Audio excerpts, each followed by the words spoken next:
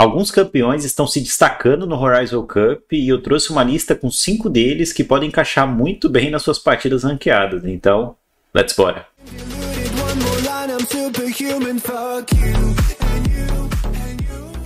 Essa é a página do Horizon Cup da Wikipedia, onde a gente tem várias informações aqui sobre o torneio, sobre os grupos. Eu vou deixar na descrição, caso você queira acompanhar, e tem também as estatísticas, né, os campeões que estão tendo melhor performance, o win rate deles, quantas vezes eles ganharam, quantas vezes eles perderam. Você vê que a lista é gigante, né? Até o momento a gente teve 53 campeões no Mundial. Então é, é muito campeão aqui. Mas eu vou tentar trazer alguns que estão se destacando mais e que eu acho que ele encaixa muito bem na sua ranqueada. É claro que vários outros dessa lista vão encaixar bem também. Mas vou trazer umas opções um pouquinho diferentes, às vezes, algo que eu não vejo tanto a galera fazendo e de repente pode te ajudar bastante, desde que você siga algumas condições. Fechou? Lembrando também que se você quiser, eu posso fazer uma lista para um próximo vídeo com os campeões que estão com com uma performance boa no Mundial, mas na sua ranqueada talvez eles não vão performar tão bem, porque ele, de, ele depende de alguns fatores. E esses fatores você não vai encontrar nas suas partidas. Então, deixa nos comentários se você quiser que eu faça essa lista. Já bota aí embaixo que a gente pode fazer e de repente salvar algumas pessoas aí de alguns campeões que só funcionam bem em time fechado, com comunicação e às vezes em altíssimo nível. E vamos começar essa lista com o Lee Sin o Lissin, até o momento dos dados aqui, ele não estava contabilizando as semifinais ainda. Então, alguns números vão alterar e oscilar, mas eu vou comentar isso, já que a gente acompanha as semifinais, eu vou comentar com vocês também. Mas até o momento que eu gravei esse vídeo, o Lissin tinha 24 jogos, 50% de win rate, e é um campeão que tem aparecido bastante no Horizon como a gente já imaginava, e eu acho que ele pode sim aparecer nas suas rankings com mais frequência também. E tá certo que ele sim já é um campeão muito frequente nas ranqueadas, eu tenho certeza que você já deve ter visto várias vezes.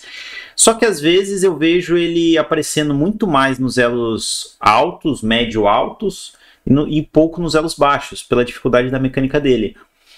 Porém, eu não acho que você precise jogar mecanicamente muito bem com o Lee Sin nos elos mais baixos. Se você só sabe fazer os combos mais básicos, acerta ali uma onda sônica, vai, joga a segunda skill e depois ultimate, mesmo que você faça isso meio lento, meio devagar, não tem problema, tá? Você não precisa ser muito bom de Lee para jogar com ele nos elos mais baixos. Porque ele é um campeão que o, o Smart Cash dele é muito fácil, então muitas vezes você nem vai precisar mirar, você vai fazer o, o básico ali, o Smart Cash já vai acertar a onda sônica, já vai fazer as coisas, então é, é bem tranquilo. E mesmo que você não dê os combos mais incríveis de Lee Sin, o dano dele é muito alto. O poder que ele tem de gank, é, de gank é muito alto, a movimentação no mapa é muito alta. Então são coisas que não dependem de uma mecânica muito apurada. E eu acho que se você está nos anos mais baixos e às vezes cai jungle ou joga jungle, você poderia treinar com ele, aproveitar. Até porque é um campeão que se você gostar de jogar, e vai por mim, eu acho que você vai gostar, porque ele sim é muito legal de se jogar. É um, ele é um campeão que você pode levar para os elos mais altos, desde que você, depois de um tempo, comece a treinar, masterizar. É um campeão muito forte e muito bom para se encaixar em qualquer elo. Então, se você ainda não é bom de Lee fica tranquilo, joga com ele de vez em quando, faz o básico, que eu já sei que você vai jogar melhor e vai ajudar muito mais do que vários outros campeões que o pessoal tenta colocar na jungle. E o segundo campeão que eu destaco aqui da lista é o Varus. Você vê que o Varus também, assim como o Lee Sin, é um dos campeões mais picados, tinha 25 picks até aqui. Depois das semifinais ele, ele teve mais alguns também. 56% de win rate e é um campeão é, é o atirador mais escolhido no Mundial atualmente. O Varus tem uma utilidade para o time, com a ultimate dele, que é gigantesca. O poke dele ajuda bastante também, a primeira skill. Né? Desde que você esteja um pouquinho buildado, ele machuca muito o adversário, principalmente em compos papéis. E compos papéis é o que a gente mais vê nas ranqueadas, né? Então, se você joga de Varus, ou se você nem joga tanto de Varus, mas quiser um atirador para aprender, para treinar algumas coisinhas aí, o Varus é extremamente simples você não vai ter muitas dificuldades para aprender a jogar com o campeão.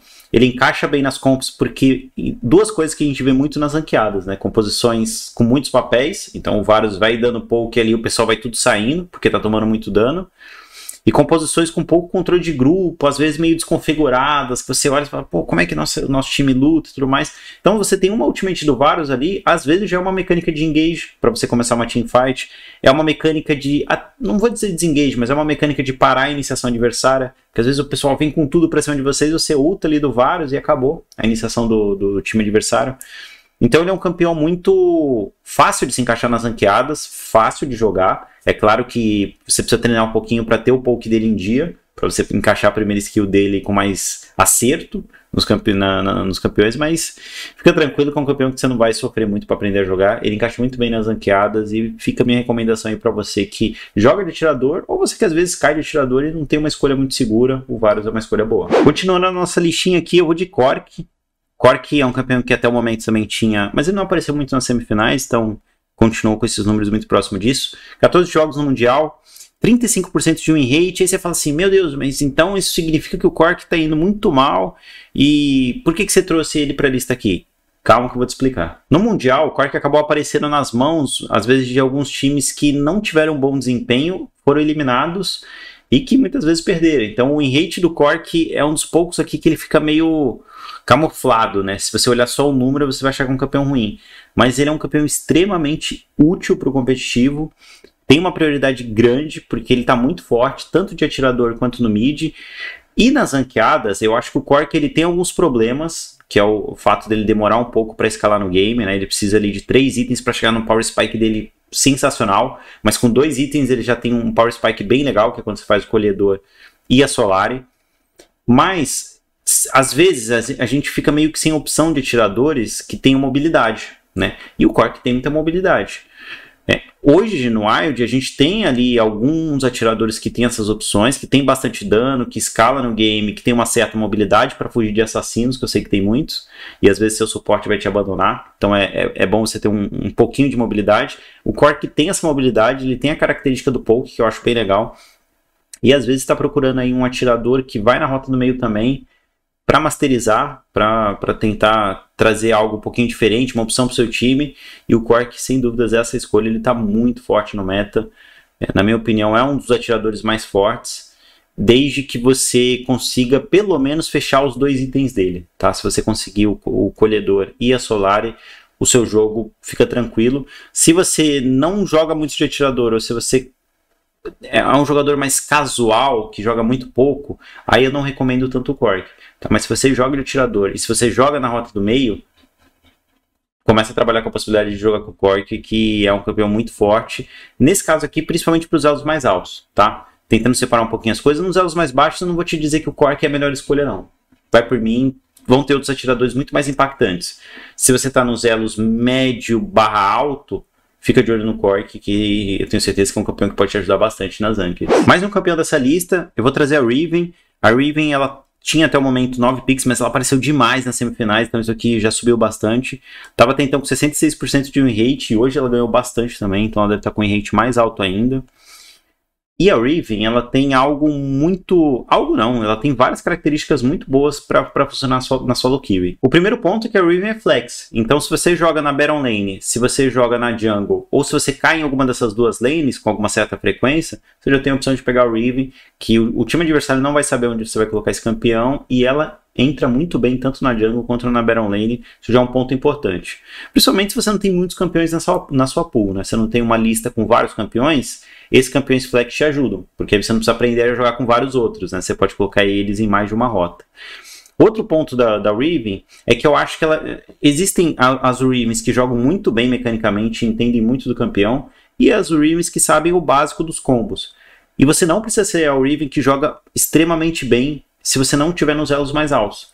Se você souber os combos básicos da Riven, a itemização básica dela, as melhores runas, coisas que você meio que tem que saber para qualquer campeão que você queira jogar, né? Se você entende isso, você procura ali um vídeo ou outro na internet, você já acha de alguns combos iniciais para Riven, já é suficiente para você impactar muito a partida porque ela está muito forte.